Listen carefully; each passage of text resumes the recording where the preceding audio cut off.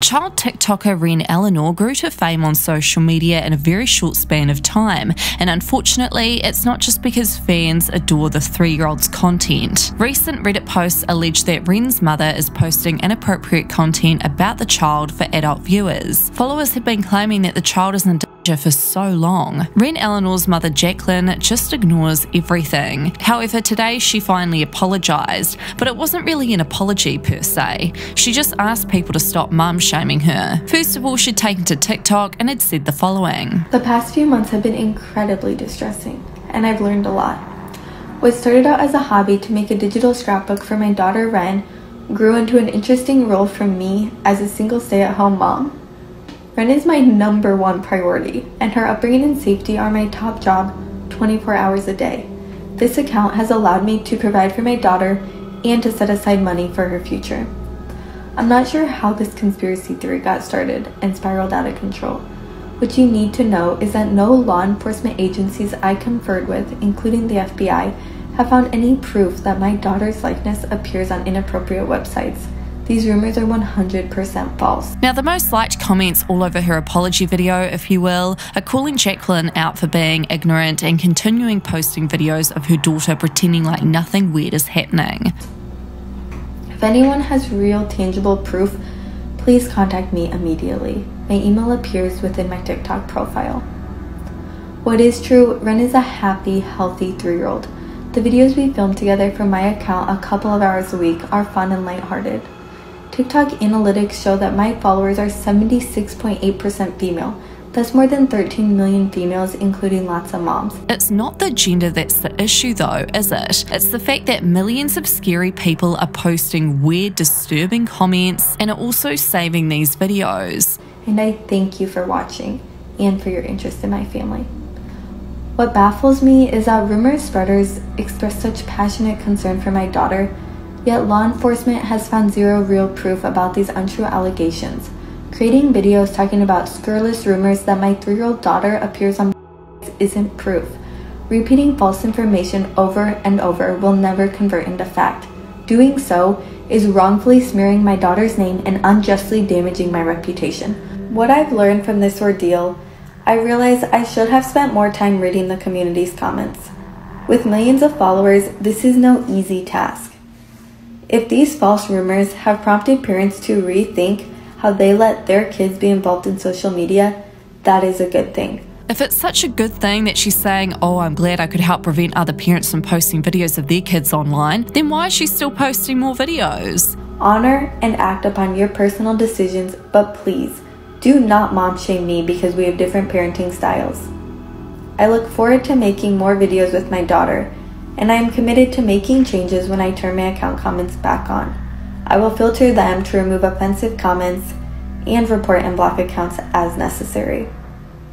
Online safety precautions that will remain in effect include disabling the ability to download or duet our videos. But even so, people can still screen record and still see the videos that she's posting.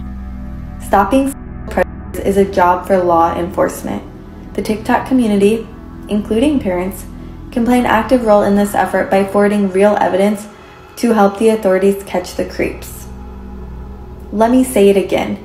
If you have real evidence, please contact me. I would do the same for your child.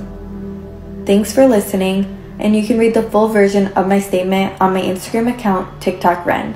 The link is in my bio. Yikes. So Jacqueline then posted a huge statement to her Instagram. She'd said, The past few months have been incredibly distressing and I've learned a lot. What started out as a fun hobby to make a digital scrapbook for my daughter Wren gradually grew into an interesting role for the single stay at home mum. Wren is my number one priority, and her upbringing and safety are my top job 24 hours a day. As a busy mum who never set out to become a TikToker with 17 million followers, I now realise I should have spent more time reading the comments, which is not so easy with a big audience. I'm not sure how this conspiracy theory got started. Nobody has presented any real evidence, and no law enforcement agency I've conferred with has found any proof that my daughter's likeness appears on inappropriate websites either. These rumours are 100% false. What is true? Wren is a happy, healthy three year old and has fun joining in when we make our TikTok videos for my account. The videos we film together a couple of hours a week are fun and light-hearted. I'm always with her, sometimes on screen or off, and holding the camera as she laughs and giggles opening boxes, trying new foods, or playing outside. Online safety precautions I've taken include turning off the ability to download or duet our videos. My TikTok analytics show that my account followers are 76.8% female. That's more than 13 million females, including lots of moms, and I'm grateful for their interest and support. In addition to preserving precious memories, this account has allowed me to raise and provide for my daughter as a stay at home mum,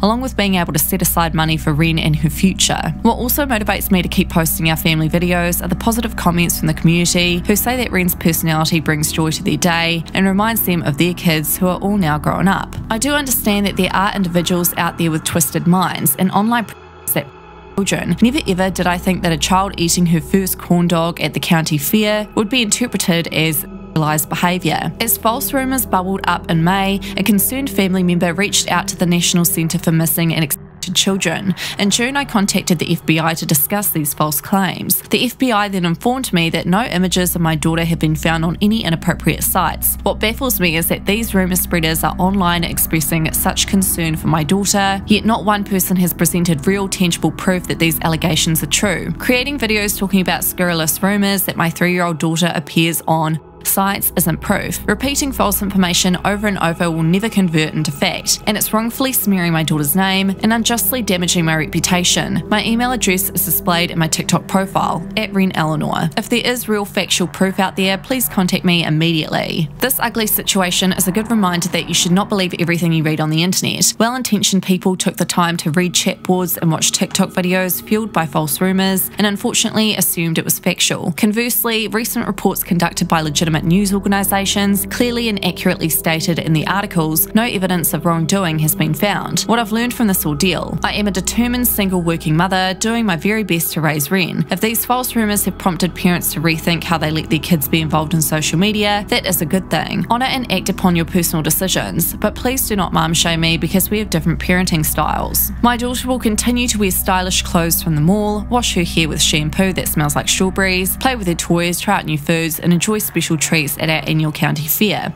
How blessed am I, a grateful mum that doesn't face off with a picky eater at every meal. Since I first started posting my videos in 2019, they have been well received, characterised as light-hearted and innocent. Yet many months later, once the false rumours started, certain community members went back to scrutinise the videos. They found unwarranted fault in every scene, unfairly characterising activities such as eating fizzy candy, fruits and vegetables, wearing a swimsuit, and playing with a water balloon as of behaviour. Perhaps it's the pickle, popsicle, and corn dog. Obsessed lewd minds recirculating false accusations that are the problem. I look forward to making more fun videos with my daughter, and I am committed to making changes when I turn my account comments back on. I will filter them to remove offensive comments and report and block accounts as necessary. Before you pass it on and potentially spread untrue information online, ask yourself would you want your child to become the centre of an ugly rumour mill, unaware of turmoil? My daughter is thankfully happy, well adjusted, and doing great. Hunting, is a job for law enforcement. Parents can play an active role in this effort by forwarding facts and evidence to help the authorities catch the criminals. For those who've expressed concern for my daughter's online safety, again, if you're in possession of real evidence, please contact me. I would do the same for your child. So, what are your thoughts on all this? Let me know in the comments.